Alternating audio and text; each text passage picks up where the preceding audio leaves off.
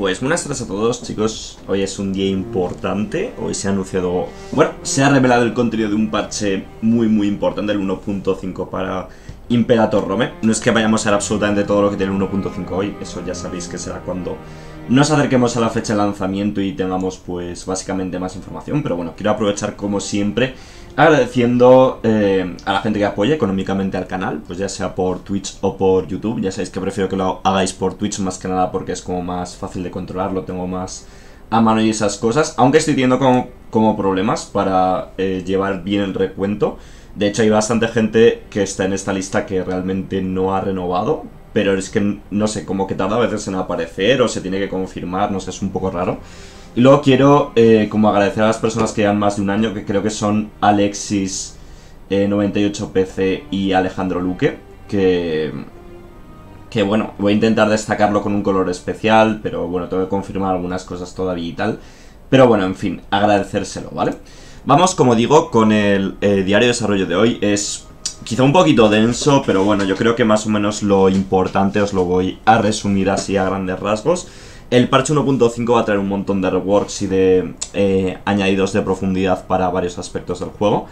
El parche ya sabéis que se va a fundamentar sobre todo en el tema de la cultura, en este caso estamos viendo la integración cultural, para que nos hagamos idea van a ser como mucho más profundas las culturas, hasta el punto que vamos a poder legislar sobre ellas, en el sentido de que, por ejemplo, decidir qué culturas queremos que tengan acceso a la ciudadanía en nuestro país, ¿vale?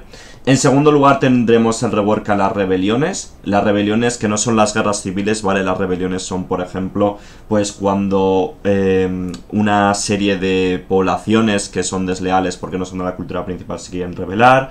O todo el tema de los esclavos también son rebeliones. Las guerras civiles van a seguir exactamente como ahora. Voy a bajar un poco la presión, ¿no? Que si no me decís que estoy como que parezco un gusiluz. Vamos, voy a poner esta luz. No, no lo soluciono. En fin, da igual. el caso. Eh, va a haber también rework muy profundo al tema del Senado y de las facciones, es decir, es algo que solo afecta a las repúblicas, obviamente, pero, pero bueno, la idea tras esto va a ser que va a haber menos facciones, van a ser más importantes. Por ejemplo, los romanos van a, van a tener solo a los optimates y a los eh, populares, que serán un poco las dos facciones que había en Roma en su momento, no estas cinco facciones ficticias que teníamos hasta el momento. Y finalmente eh, un montón de interacción con los vasallos, ¿vale? Cosa que no existía hasta ahora, pues un poco poder configurar qué queremos que nos den, eh, qué tipo de vasallaje queremos que tengan con nosotros, hasta qué punto queremos que nos den de cada cosa. Tío, en serio, la luz está un poco como en la mierda hoy, ¿no? Es que estoy, estoy grabando un poco tarde, ya lo siento, pero es un poco la, el momento que he tenido porque tengo que entregar parte del TFG y ido un poco liado estos días. En fin, esto es más o menos a grandes rasgos lo que vamos a ver hoy, pero ahora vamos a, verlo un poco más en profundidad porque como digo, pues quizá eh, tiene algo más de profundidad de lo que podamos entender rápidamente y como es un poco muro de texto este diario de desarrollo, pues quiero que al menos os quedéis con lo que he mencionado hasta ahora, ¿vale? En este sentido, Rework cultural. Vamos a interactuar con las poblaciones a saco de nuestro imperio. Cada cultura se va a mostrar dentro de, dentro de una vista nueva que, va a haber. Vamos a poder eh, configurar cuántas poblaciones queremos poner de límite a cada cultura. Es decir, mira, eh, no quiero que los lusitanos se, se, expandan en más de 100 poblaciones en mi imperio. ¿Vale? Eh, lo capamos en ese aspecto. Más control sobre la población, ¿no? Es algo que es bastante interesante. Esto va a alterar... Qué bueno, tío, estoy grabando y me sigue la gente cuando estoy fuera del streaming. Eh, esto va a alterar eh, cómo se gestiona la felicidad de las poblaciones, ¿vale? Y esto aumentará la posibilidad de que se alcen en revuelta. Podremos eh, básicamente legalizar cómo queremos que sea la ciudadanía para una cultura y esto por supuesto hará que algunas culturas pues se enfaden y quieran comenzar a levantarse. Eh, bueno, todo esto de que sean culturas principales, todo el tema de que estén felices va a contar para temas mecánicos que veremos en el futuro. Y la lucha por la ciudadanía pues será algo que vaya a causar eh, problemas internos dentro de un país, así que algo que podemos esperar mucho en a partir de la siguiente actualización o en la siguiente actualización es un montonazo de gestión interna dentro del país. Tener que lidiar con que las poblaciones estén felices, con que eh, con que intentan lograr una serie de objetivos que nosotros pues nos interesará o no que, los cumplan. etcétera, ¿vale? Vamos ahora con las rebeliones. Decían que las rebeliones, pues básicamente un poco guacamole, en plan de que tú básicamente tenías una, pues yo que sé, se empezaron a levantar los esclavos y pim pam pum tenías que estar lidiando con los esclavos. Em, y que en general tampoco había muchas rebeliones, ¿vale? Y dado que las rebeliones no son algo realmente peligroso para el país, lo peligroso para un país es la guerra civil, que al fin y al cabo lo que hace es que pierdas la partida si termina una guerra civil, pero en cambio una rebelión no es tan importante, pues porque yo que sé, que los rebeldes em, esclavos tengan éxito no hace que termine tu partida, que una región si te independicen no hace que termine la partida. Entonces, las rebeliones van a ser más comunes, a partir de ahora van a ofrecer un poquito más de desafío al juego y que bueno, no va a tener ya una medida a nivel nacional, sino que van a ser regionales, ¿vale? Van a ser pues poblaciones que por su cultura o por su religión van a querer independizarse y lo que vamos a tener ahora es que se van a, van a tratar de independizarse las regiones, ¿vale? No va a ser una rebelión a nivel nacional, sino que va a ser rebeliones concretas, localizadas en algunas regiones y esto no significa que simplemente lidiemos con una región una por una, sino que una rebelión que estalle en una región puede acabar propagándose otras regiones inestables de nuestro imperio, de nuestro reino. Por lo tanto, existe un efecto bola de nieve que puede acabar siendo muy perjudicial para nuestro imperio, ¿vale? En el siguiente punto, pues el rework al Senado y a las facciones.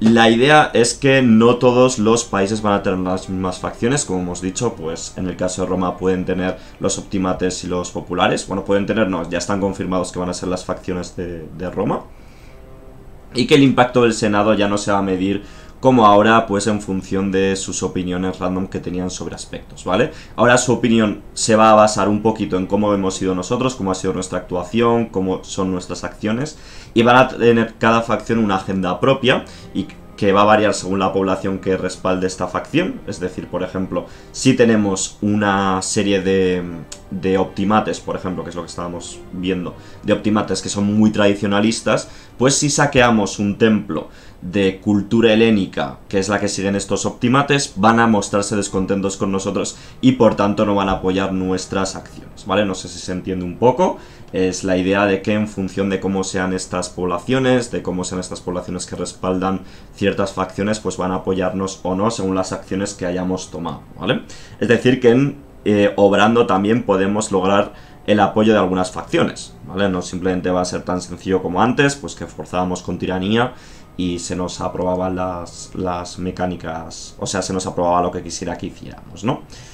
Em, dicen, por ejemplo, que eso, que las cinco facciones que había hasta el momento no eran muy representantes o muy representativas de cómo eran las políticas de la antigüedad y un poco eh, con estos cambios plantean aproximarse a algo más histórico como sucedía pues con menos facciones pero más, más potentes. Si no me equivoco creo que... bueno, lo podríamos buscar realmente. Optimates. Porque creo que los optimates eran o sea, los populares eran simplemente pues gente que quería darle al pueblo un poco lo que pedía, una especie de protopopulismo muy, muy, muy eh, ligerito, ¿no? Mientras que los optimates era como más, eh, más pragmáticos, más guiarse por eh, sus propios intereses y, y, ver poquito más allá, ¿no? Algo así más como que eran familias que trataban de lograr sus intereses y tal, ¿no? Pero bueno, esto os lo dejo a los, a los historiadores o a la gente que estéis más interesados en el tema para que lo investiguéis porque tampoco me quiero meter en el fregado de explicar algo que desconozco, ¿no? Como es lógico. Eh, finalmente, el rework de los vasallos, pues en principio se nos anuncia una nueva pestaña de gestión de vasallos, en este caso estaríamos viendo la nación de Frentania y de Pelignia. Me gusta muchísimo que de un simple vistazo en esta pestaña podamos ver toda la información macroeconómica o a nivel macro de los países vasallos, que son nuestros vasallos, que digo, pues la lealtad que tienen con nosotros, las poblaciones que tienen, cuántos barcos tienen, cuántas cortes tienen, cuánto manpower tienen y cuánto nos están aportando y el estilo de gobierno que nos eh, que tienen en relación a nosotros, pues son, unas atrapillas, son un gobierno feudatario, etcétera, etcétera, etcétera, ¿no? En este sentido parece que vamos a poder configurar eh, qué nos dan exactamente de cada cosa, cuánto nos dan de manpower, entiendo al año, no sé si va a ser al mes o al año, no sé. Ah, no, es cada mes, aparentemente. En este sentido, nos dice que le estamos quitando pues prácticamente un ducado una, o una moneda de oro, un denario, al mes, ¿no? Con un 30%. Si subiéramos, pues, el impuesto que les cobramos, pues nos darían más. Y lo mismo con el manpower, ¿no? Así que va a ser bastante interesante ahora tener vasallos. Y sobre todo gestionarlos, ¿vale? A la hora de, pues, que los queramos integrar, que queremos hacer algo más eh, concreto con ellos, pues va a estar muy bien en ese sentido. También se nos anuncia una nueva mecánica, que es la mecánica de confianza, y que aparentemente no tiene que ver con lo que conocemos de Europa Universalis 4. La confianza en Europa Universalis 4 ya sabéis que es una mecánica que refleja pues hasta qué punto cumplimos nuestras promesas básicamente en, en el juego. Por ejemplo, pues si le hemos dado provincias a un país que nos ayuda en una guerra, este tipo de cosas, ¿no? Pues eh, la confianza en Imperator Rome va a ser un poquito un modificador que se vaya eh, aumentando o disminuyendo en función de la cantidad de exigencias que tenemos con nuestro vasallo. En este sentido, por ejemplo, ¿no? Vemos que le estamos quitando un 30% de dinero, pues este 30% de dinero hace que nos dé este, este dinero, 0,92, pero a cambio va a reducir nuestra confianza... Eh, la confianza que tienen de nosotros en 0,30 cada mes. Si aumentamos el dinero que les pedimos, se reducirá todavía más mensualmente esta confianza. En cambio, si les pedimos menos dinero o menos manpower, entiendo también, pues irá aumentando esta confianza que tengan con nosotros. Así que en ese aspecto gana muchísima, muchísima profundidad el juego. Así que, sinceramente, grandes noticias en todos los aspectos, no hay nada que me parezca mal, por supuesto. Dicen que no solo se va a centrar en esto la, actualización, que estos son un poco los cuatro pilares grandes que quieren tocar, pero que por supuesto va a haber cambios menores, eh, tipo de calidad de vida y este tipo de cosas que nos tendrán que concretar. Pero bueno, así a nivel general lo que más interés tengo es ver exactamente qué es lo que hacen con la cultura, porque en principio esto es el pilar fundamental de, este rework. Todo el tema de las rebeliones me parece bien, el tema de que las repúblicas van a tener mucha más profundidad me parece bien, y el tema de gestionar los vasallos de una, mucha, de una manera mejor, con más profundidad, más opciones, es también muy bienvenido.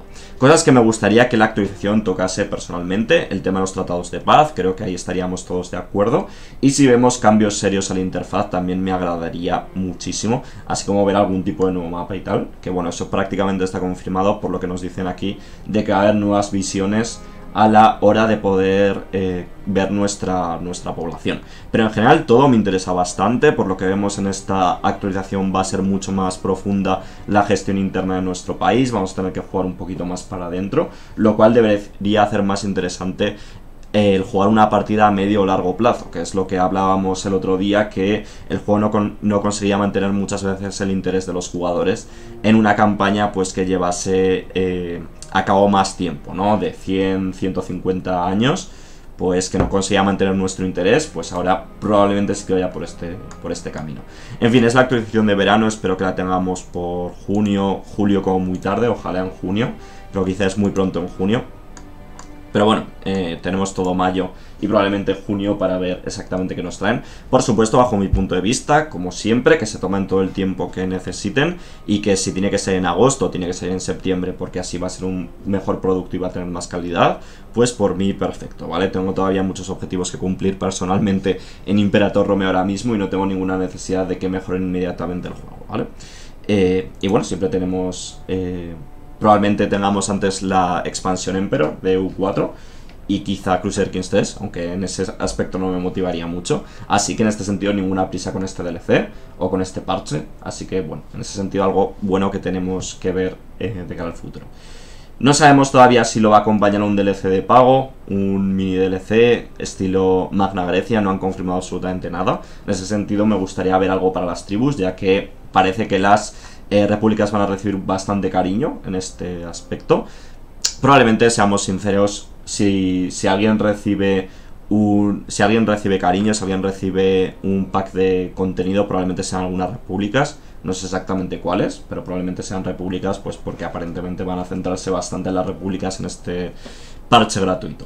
Nada más, chicos. Eh, espero saber vuestras opiniones en los comentarios. Me parece bastante acierto todo esto. La verdad que no estaba muy motivado con la idea de un DLC centrado, de un parche, perdón, centrado en la cultura. Y esto, pues la verdad que me ha alegrado bastante. Por lo visto la reacción en Twitter ha sido también bastante buena. Así que nada más, a ver qué pensáis vosotros. Gracias por llegar aquí, nos vemos en el próximo. Chao, chao.